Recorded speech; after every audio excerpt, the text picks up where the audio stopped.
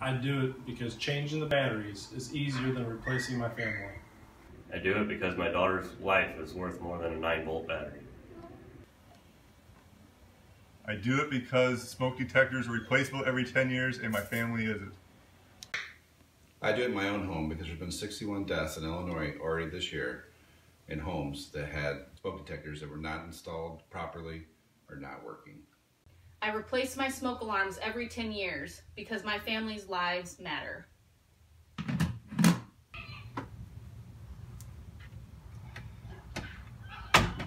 I do it because closing their door buys them more time. In case there's a fire, they need as much time as they can get. I do it because closing the door can save her life. Do it because 20 years ago you had about 17 minutes to get out of a house. Now you have about 3 minutes to get out. I do it so my family is not another statistic. Do it for me. Do it for me. Do it for them.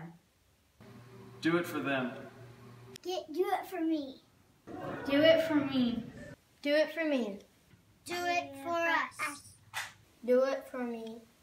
Do it for me. Do it for me. Do it for me. Do it for us. Although Fire Prevention Week is only recognized for one week out of the year, it's something you should practice every single day. Fires in this country kill more people than all other natural disasters combined. Something as simple as changing your smoke detector batteries every year, changing the detectors whenever they're 10 years old, and sleeping with your bedroom doors closed can make a huge difference. If there's anything we can do with the fire department to help you, we'd be happy to do so.